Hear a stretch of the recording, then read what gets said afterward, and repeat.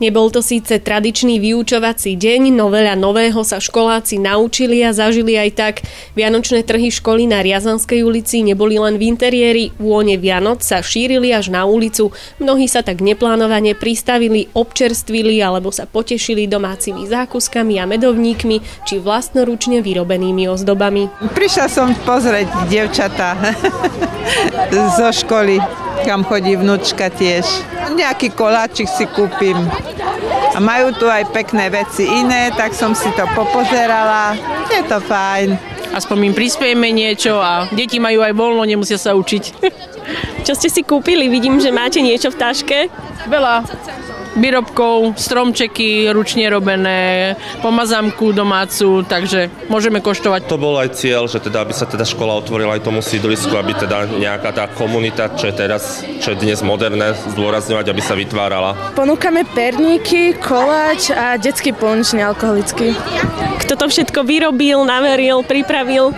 No, uh, babi alebo chalani zo Smeja. Tak. A punč robila ona? No a ešte s kamarátkou sme robili punč. Aj sa pristavujú ľudia, všímajú si, že sa tu niečo deje pred vašou školou? A ľudia si všímajú, že sa tu niečo robí a aj si veľa kupujú. Ponúkame tu arabskú kávu, perníky a kapustnicu. Kto varil kapustnicu? Uh, náš spol- na... A koľko má rokov spolužiak? 11-12. Tak potom je veľmi šikovný. Ako reagujú ľudia, ktorí prechádzajú okolo, zastavia sa, kupujú si? No niektorí sa zastavujú, zastavujú niektorí ne, asi nemajú čas, tak odchádzajú preč. Ale tak väčšina sa tu zastavujú pozrieť sa.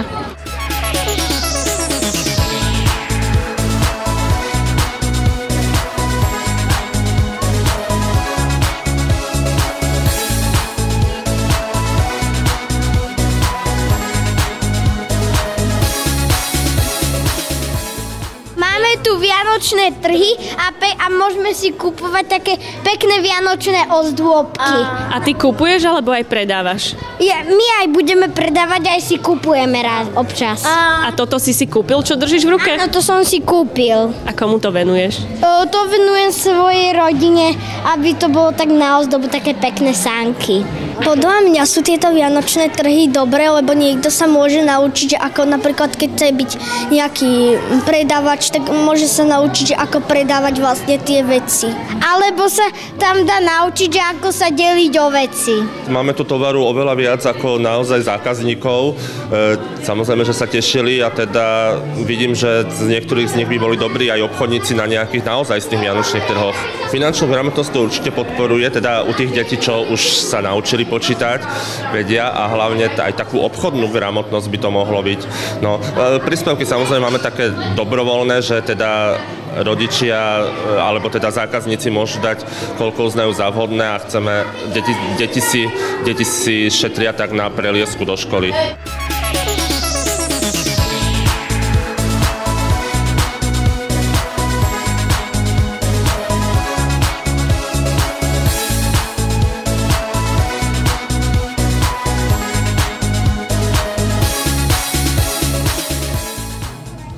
Máš tu napísané najlepšie domáce koláčiky. Kto ich piekol?